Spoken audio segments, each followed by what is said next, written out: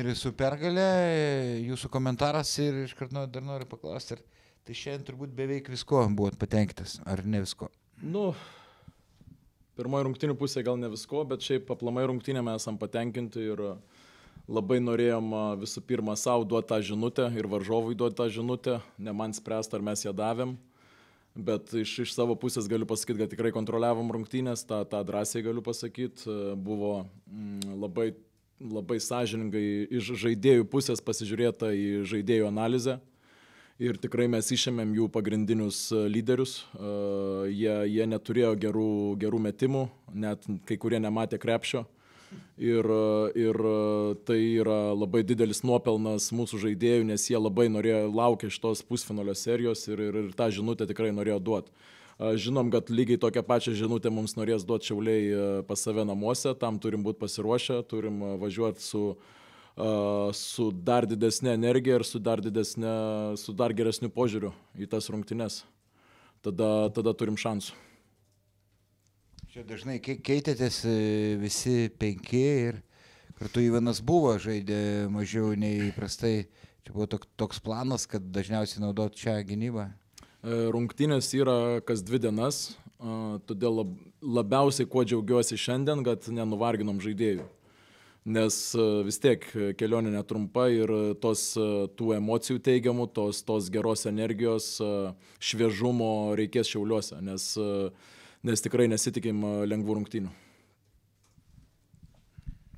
Treneri, ką per pertrauką pasakėt komandai, nes trečiame kelnyje gynyboje išėt su dar didesniu intensyvumu ir visiškai užsmaugė čiaulius? Nu, nieko, didžioji pertraukoje mes tiesiog taisom savo tos mažus, mažas tas detalės ir uh, Svarbiausia man kažkaip per, didž, per, per didžiąją pertrauką didžiausias dėmesys buvo, kad mes kažkur tas emocijas nelabai kontroliavom, kažkur tos kantrybės nebuvo, kažkur norėjom juos labai greit turbūt užlaužti, tos kantrybės, kantrybės nepademonstravom, paskui po, po, po tą ataką po atakos mes tą susikrovėm ir, ir, ir tikrai smagu, kad susikrovėm per gynybą visų pirma. Nes, nes tikrai pasižiūrėsit į statistiką, tai varžovų lyderiai nu, tikrai šiandien nesužaidė. O toks Sanono rezultatyvus žaidimas kažkiek nustebino, netikėta buvo. A, truputėlį, truputėlį netikėti buvo jo keli metimai sunkus, bet su tokiais metimais, kur pas, pataiko tokius sunkius, mes tikrai galim gyventi ir mes tokius tikrai duosim jiems toliau mest. Bet aš netikiu, kad tokiais metimais gali, gali daug nu, nueiti komanda treneri, ta intensyvi gynyba, super intensyvi, kaip kolega pastebėjo, jau antroji daly buvo. E, ir ne pirmą kartą šį sezoną rytas tokia atkarpa turi smaugiančios gynybos. Toks įspūdis, kad čia yra kažkokia susitarimo dalis, šiek tiek prisitaupyti, o kažkuriuo metu smogti iš visų jėgų. Greičiausiai žaidėjai susitarė yra su fanais. Tai nėra Nes... jūsų fasa režimas, kurį jungiat kažkurio metu, nes antroji dalyta pastebėjau kelintą kartą šį sezoną. Žinokit, vienas, vienas ten kažkoks švilpukas abejotinas, vienas kažkoks tenai nepasisekimas žaidėjų ir jie tą, tą priema asmeniškai, labai teisingai ir tą visą susikaupusią pyktę energiją man džiugu, kad jie paverčia gynyboje. Ir, ir matėt, ką Karnas padarė su, su varžovų lyderiais, tiesiog, tiesiog tiesiog negalėjo niekas įkvėpti. Ir, ir, ir labai šiandien daug turiu kredito atiduoti Arnui, kuris e, tas jo kapitono pavyzdys tikrai e, užvedė visą komandą, visą areną. Nežinau, kas pirmiau, ar Arnas visą komandą, ar arena visą komandą, ar nežinau. Čia tą sinergiją mes turim išsiaiškinti. Prieš Jaulius šį sezoną metat po daugiau nei per penkerias rungtynes, po daugiau nei 33 taškių pataikot, po daugiau nei 40 procentų juos. Sireika žada šitą panaikinti kitose rungtynėse, bet jam kol kas penkių mačų to įrodyti neužteko. E, kas čia per tendencija, kad prieš Jaulius tiek daug tritaškių? Nu, turbūt tokia gynyba jų yra ir, ir mes toliau mesim, jeigu mums leis, mes toliau mesim, mes atsimenam ir pernai e, tas, tas rungtynės ir pernai sezoną gal biški kitokios sudėtis, bet e, gynyba buvo panaši ir ir mes naudosimės tą, ką duos, jeigu tritaškėtims kažkur ieškosim kitų būdų, kaip išspręsti polime visas problemas. Šiandien Vilnius kažkuria prasme gal trumpam įkūnijo kokį nors Belgradą, nežinau, nes rungtynių pradžioje vyko dainos atsistojus, konfetija aikštelė. Žaidėjai negalėjo pelnyti taškų, buvo labai sunku, pirmas penkias minutės, kiek tam turėjo įtakos fanų startas ir nutrauktos rungtynės pradžioje.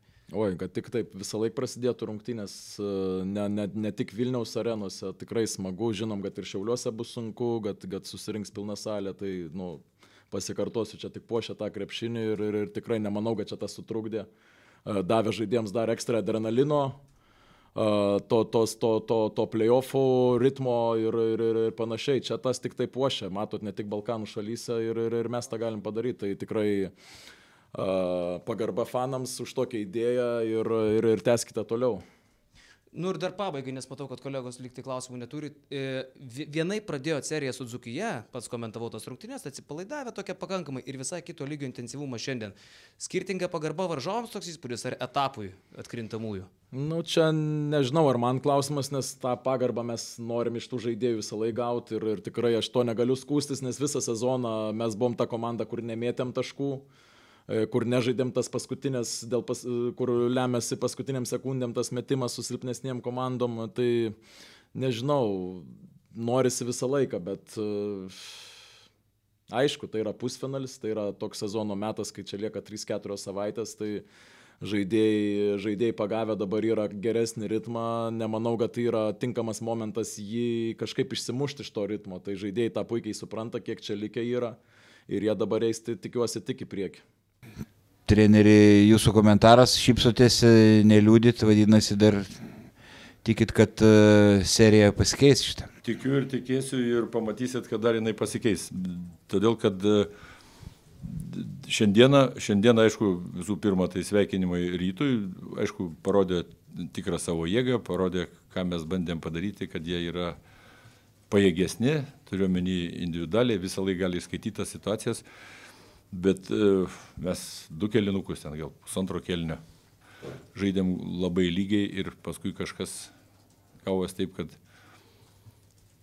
reikėjo daugiau improvizuoti, nes jie keitėsi visur, reikėjo daugiau improvizuoti, pritruko to proto. Ir nukrito, kaip pasakyti, emocija, kuri buvo prieš varžybas, kaip kalbėjau, kad vis tik čia yra, čia yra finalinis ketvirtas, čia yra garbė žaisėme ir reikia kautis, tai kažkaip vyram nukrito ta psichologinės, psichologinė atsakomybė, ne, ne spaudimas, bet atsakomybė ir nežaidė taip, kaip reikėtų. Bet nu, vis dėlto subirėt e, trečiajame kelnyje, ko pritruko prieš varžovų besikeičiančią gynybą, gal daugiau įmetimų aukštesniems žmonėms, kurie likdavo su žemesniai? Visko, visko reikėjo. Negalim, negalim mes laimėti Elmoras, mūsų taškų pelnytojas Tankievičius, pelno, pelno po nulį taškų. Sobeckis. Sobeckis, Sobeckis sakysim, ne, ne iš tų metikų, bet čia metikai, kad jeigu mes, tai mintis tokia yra visų pirma paduoti po krepšių, bet jeigu susispaudžia varžovai ir eina padėti, mes turim pataikyti ir iš toli. Jeigu mes nepataikom, tai sugriusim čia žurnalistas iš Marijampolės. Senonas šiaip pakilęs nuo suolo įnešė tos geros energijos, atrodė pirmam kelnį nelabai kas pavyko polime, bet būtent jis buvo tas žmogus, kuris pralaužė ledus, kiek jis gali būti tiks faktorių šitoj serijoje. Jis gali būti, bet jisai vis tiek turi žaisti dėl komandos. Ir mes, jeigu bandom pasiginti kitą gynybą, jam labai daug yra čia iksų tų nežinomumų, nežinomumų ką, ką jis turėtų daryti čia toj gynyboje. Čia mes žaidėm su, su vyrais ten visą sezoną ir pakeitė ten kokią gynybą ir tai dar ne viskas gaunasi, jis dabar čia treniruojasi mėnesį laiko. Jam daug buvo tokių kartų, kuris ateina, kur nereikia į pagalbą. Šiaip, aišku, jūs polime tai tos energijos mums davė ir, ir puiku. Treneris šiandien iš ryto tritaškius metė kas tik netingėjo. 38 tritaškai, daugiau negu dvitaškių išmestų ir 42 procentai, kodėl nepavyko apriboti ryto metikų. Ryto metikus mažai kam pavyksta apriboti. O čia e, priklauso ne nuo to, kad jie ten išmeta, dėl to, kad kažkas tai neapsigina vienas prieš vieną. Einam padėti, jeigu buvo ten bėgam dviese palaikyti, tai nueina vienas perdavimas, mes net nesubėgiojom. O antra, antras tas perdavimas, ekstra perdavimas, net nebereikalingas, jau ir taip mes gaunam. Tai čia yra gynybos klaida, jinai prasideda ta gynyba Nu, vienas prieš vieną. Jeigu kažkas traukia, einam padėti, ten reikia rotuotis. Taip kad čia ryto žaidėjai mes žinom, kad gali pataikyti. Nors, nors reikia pripažinti, kad jiem gera diena buvo. Ne visą laiką tai pataiko. Bet treneriai, mes ir su jumis prieš rungtynės kalbėjom, kad visą laiką jie prieš jūs tai pataiko. E, Vidutiniškai Prieš jie prieš taip, jūs prieš meta... taip, prieš Pratęsiu mintį. Vidutiniškai prieš jūs jie meta dabar jau daugiau nei po 33 taškų ir pataikymas prieš jūs jau per penkerias rungtynės yra daugiau nei po 40 procentų. Tai ar yra tokia tendencija, matant galimybių šitoj serijoje, sumažinti šitą? Atvažiuosit iš Šiaulius, pamatysit. Jūs pažadat. Tikrai. Jie, kad keistųsi gynybų ir buvo šiandien ne, ne, neilgai žaidė ir ties perimetrų mm, spragos pas jūs, tos, kas nereikalingos pagalbos, nuo, nuolat būdavo, kad likdavo jų Tai aš, aš jau kalbėjau, tai jeigu šitas e, senonas, jisai žaidžia gerai polime ir, mm, sakysim, vienas žmogus atėjo į pagalbą, jis turi būti tarp dviejų. Bet jam čia yra dar sudėtinga, kas tas dalykas. Lieka laisvas Uleckas metas. Lieka girdžiūnas ar bet kas metai. Tai čia, sakau, klaida in- individualiai praleidus. Treneri prieš rungtynės tą konfetį jūrą, kaip sureagavote į ją ir ar galima kažko panašaus šiuliuose sulaukti? Ne, ne, mūsų neišmušė, man nepatiko, buvo taip neįprasta, bet, bet nepatiko, kaip mes sakom, viskas čia gražu, tokia, iš tikrųjų, šventinė nuotaika, aš, aš pats suprantu, kad čia yra neįlinis dalykas, čia finalinis ketvirtas pasė, viskas gražu, tegu būna, bet reikėjo pasiruošti daugiau tų šluotų ten. Jeigu pa, paruošė tą ferverką, viskas gražu, bet tai nereikia tiek tęsti ten, kad eina renka su pirštais ten vaikiukai ir, arba teisėjai spardo su kojom. Pasiruoškite ir šluotas, viskas buvo normaliai. Dėl Elmoro, ar ta trauma jį taip visiškai iš, išmušė iš ritmo, na, sunkiai atpažįstama, atrodo, ir sulėtėjęs šiek tiek. Gerbiamas Vaidai, tiek daug žinot apie krepšinį, ką turiu atsakyti iš tą klausimą? Viskas, ką klausė, taip ir yra. Ir sulėtėjęs, ir praradęs tą ritmą, ir dar kažkas. Jis pirmą kartą išeina dabar į varžybas ir mes kalbėjom su kolega, galbūt geriau, kad nebūtų išėjęs, ar dar kažkas. Aš sakiau, kad ne, jisai gali daug padaryti, bet kad dar jis ne tokioj kondicijoje, čia viskas teisingai. Į tą klausimą ateina ir visi atsakymai. Besbradica jau žais antrose rungtynėse. Nesakysiu. Nes nežinau. Dėl Elmoro ir Sanono aikštelėje vienu metu, a, kai jie išėjo, mes iš karto sakėm, nu, va dabar bus šėlsmas. Aišku, Elmoras dar ne formui, bet kai jisai bus formui, jūs matot progą pasidalinti kamuolį šitiem dviem vyram. Matau ir mes jau esam kalbėjęs komandai su kolegom, reikia tada mažiau kitų žmonių tokių, kurie irgi nori mesti. Reikia, kurie daugiau dirbtų, Ale Rodmanas, dar kažkas tokie žmonės, kurie dirbtų ir džiaugtųsi, kad kažkas pelno taškus, bet reikia juodai dirbti gynybai. Tai, tai čia mes turim tokį parinkti penketuko, vat, e, tas pats e, Nemanė, Besbradica labai tikdavo, nes jis toks Jis toks juoda darbis dirba, jis nelabai didelis egoistas, kad taškus pelnyti ir man tai gražu būtų, kad ir iš vienos pusės, ir iš kitos pusės veržėsi, iš tikrųjų tas krepšinis galėtų būti gražus, bet reikia dar kitus žmonės paruošti. Ir reikia, kad, kaip sakėt, šitas Džonas, kad būtų geroj tokiai kondicijai, kad jis prie progos, kur laisvas būna, kai jis pataikytų, kad jis galėtų šansą prasiveršti turėtų. Tai Arba dviem kamoliai žais.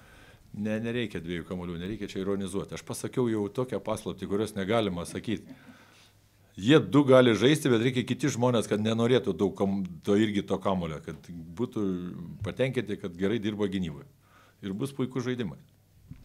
Treneri, išskyrus trenerių štabą jūsų ir Arminą Urbutį, jūsų komandoje daugiau nėra nei vieno žmogaus, kuris būtų žaidęs BCFLKL pusfinalyje.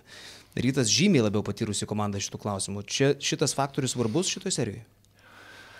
Galiu atsakyti tokiu į klausimą klausimą. Niekas negimė žvaigždė. Kažkada turi išeiti pirmą kartą, vat, yra tik tai tiek žmonių, kurie žaidė pusfinalį. Jie, aišku, labiau patyrė ir, ir parodė tas meistriškumas. Jie iškart, kaip sakyt, išskaitė, kas kur silpnesnė vieta ir, ir kur eina padėti, kur reikia numės kamą, viskas teisingai. Bet mes turim tokius žaidėjus ir mes norim, kad jie jeigu ne dabar, tai ateityje, kad, kad jie taip pat žaistų finalo ketvirtį, bet jau negalėtume duoti tokio klausimo, kad pirmą kartą žaidžia, kad žais ateityje, ką daugiau daryti.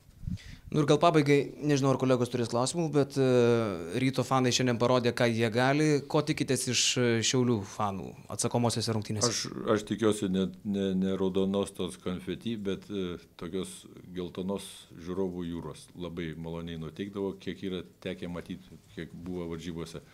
Labai tikiuosi, kad susirinks ir pasidžiaugs, kaip džiaugiasi iki šiol, kad šiauliai po tiek laiko papuolė į ketvirtą ir aš tikiuosi, kad gyvai tą parodys, gražiai palaikydami komandą. Ir komanda stengsis žaisti kitaip. Pažadu. oh,